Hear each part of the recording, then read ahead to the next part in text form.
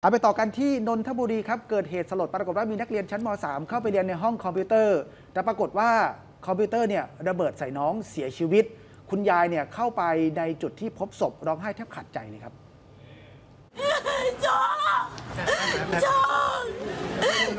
จะดูไหมครับย่าจะดูไหมโชคทำไมโชคจริง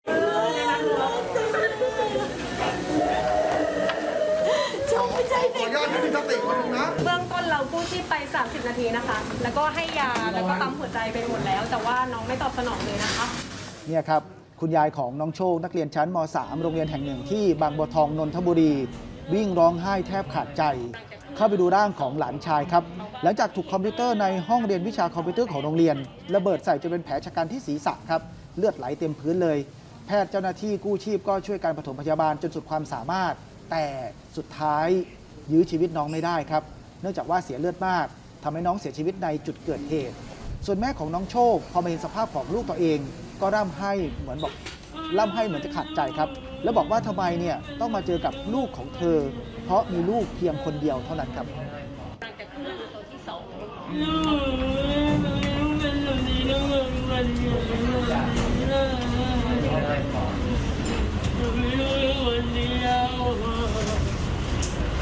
นี่ฮะเห็นใจนะคุณแม่มีลูกคนเดียว หลังจากเกิดเหตุตำรวจสภ.บางบัวทอง เข้าไปตรวจสอบจุดเกิดเหตุ ไปถามคุณครูประจำวิชาคอมพิวเตอร์ก็เล่าบอกว่า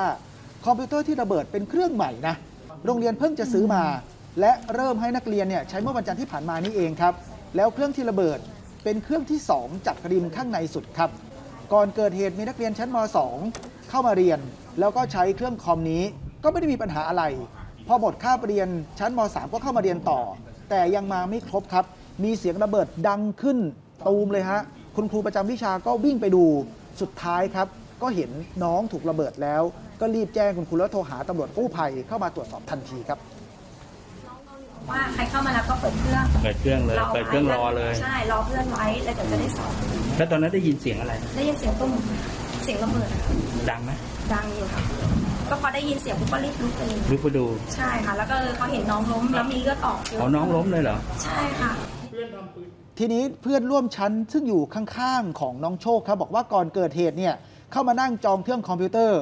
รอเข้าเรียน พอเปิดมาได้สักประมาณ 10 นาทีครับ ไม่ได้มีกลิ่นเหม็นไหม้หรือไม่ได้มีเสียงไฟช็อตอะไร จู่ๆก็ระเบิดขึ้นทันทีครับ เสียงตอนที่มันดังปั้งนะฮะเป็นการปั้งใช่ฮะอ่า แล้วน้องเขาเป็นไงต่อนี่เขาก็นั่งนิ่งเลยฮะแล้วทีนี้อีกแป๊บนึงครับแป๊บเดียวจริงๆ แล้วก็น้องเขาก็เอ็นไปทางด้านขวาเห็นแค่นั่งนิ่งๆเฉยๆแล้วเขาก็เห็นว่าเอ็นร้องไหมเขาร้องไหมไม่ร้องอะไม่ร้องอะไรเลยเงียบเลย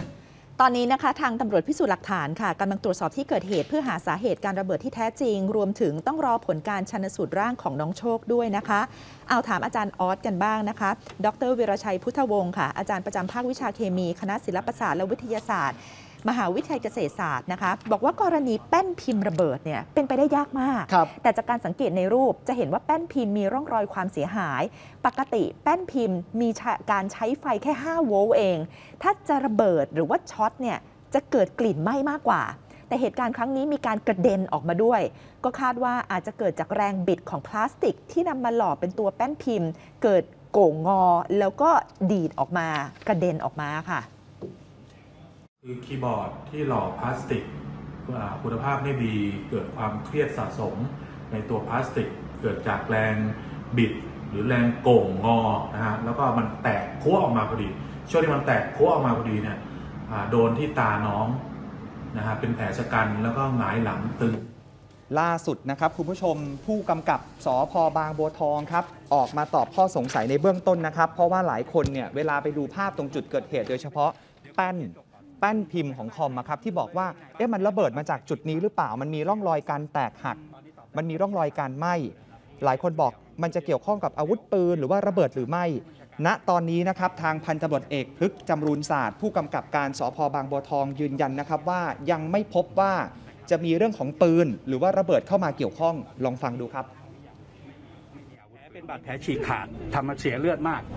ตอนนี้ตอบได้แค่นี้นะครับกี่พบอย่างอื่น ตอนนี้ยังตอนนี้ยังตอนนี้ยังนะครับ ตอนนี้ยังไม่มีไม่มีอาวุธปืน ไม่มีไม่มีอาวุธปืนนะครับไม่มีอาวุธปืนไม่มีไม่มีระเบิด ไม่มีระเบิดไม่มีอาวุธปืน ไม่มีครับไม่มีตอนนี้ในโลกออนไลน์นะครับ โดยครับเฉพาะเพจดังๆ เนี่ยก็พูดไปในทิศทางเดียวกันว่าครับมันไม่น่าจะเกิดจากคอมพิวเตอร์ระเบิดได้นะไม่น่าจะเกิดจากพระว่แป้นถึงบชีวิตไม่ใช่ใช่ไหมตัวคอมพิวเตอร์หน้าจอครับด้วยเออ พูดถึงแป้นพิมพ์อะ ใช่ไหมอ่าอืม ก็เดี๋ยวรอการตรวจสอบนะเดี๋ยวรอตำรวจเขาสรุปสาเหตุนะ ครับ ว่าสุดท้ายเนี่ยเกิดจากอะไรกันแน่ คือหลังจากที่เห็นข่าวนี้นะ ลองไปพลิกแป้นพิมพ์ของตัวเองอะเออ ดูมันมันน่ากลัวมันมันมีสายอะไรไหม หรือว่ามีแบตเตอรี่ไหมลองเออสังเกตดูนะครับ เออ วันดีสนุกฟรีดีทุกวัน